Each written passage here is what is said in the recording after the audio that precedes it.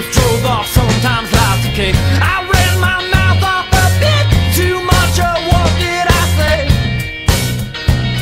Well, you just laughed it off, it was all okay.